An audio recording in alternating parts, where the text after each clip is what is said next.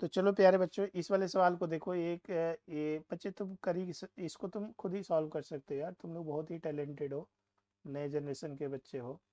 तो Young's double slit experiment मैं भी इतना पुराना नहीं हूँ यार, ठीक है? तो slit experiment between the, slit and screen is double. देखो, एक वाइड एसी सेटअप है, बेसिकली। तो यहाँ से डी है और ये स्मॉल डी है। तो यहाँ पे सुपर पोजिशन हुआ होगा। ठीक है? बात समझ में आएगा प्यारे बच्चों? तो यंग डिस्टेंस बिटवीन स्क्रीन है। अब डी जो है, केस फ़र्स्ट केस फ़र्स्ट में जो है डी डी रहा होगा। केस सेकंड में जो है, केस फ़र्स्ट में डी डी था। केस सेकंड में मैंने डी को डबल कर दिया। ये डिस्टेंस टू डी कर दिया। And the separation between the slit is half पहले स्मॉल डी था, अभी डी बाई टू हो गया।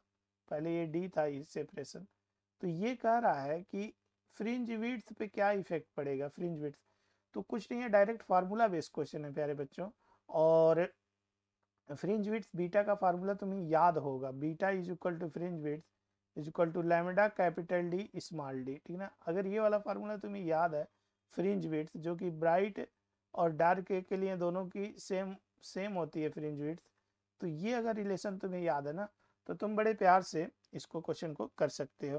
तो ये मैं लगा देता हूँ केस फ़र्स्ट के लिए, ठीक है अगर मैं इसको केस फ़र्स्ट के लिए लगाता हूँ, ठीक है? तो केस टू के लिए अगर मैं लगाता हूँ तो मान लो बीटा बीटा डैश हो गया लैमडा सेम रहा डी डी डैश हो गया स्मॉल डी डी डैश हो गया, जो कि उधर दिया तो लैमडा डी डैश की वैल्यू टू टाइम्स डी हो गया, और ये बीटा डी बाई टू हो गया, और ये डी बाई टू ऊपर जाएगा तो four lambda capital D upon small D जो कि ओरिजिनल का जो है, वो ओरिजिनल का जो बीटा का फोर टाइम्स आ रहा है, ठीक है ना? तो जो बीटा डैश है, वो फोर टाइम्स बीटा के इक्वल आ जाएगी।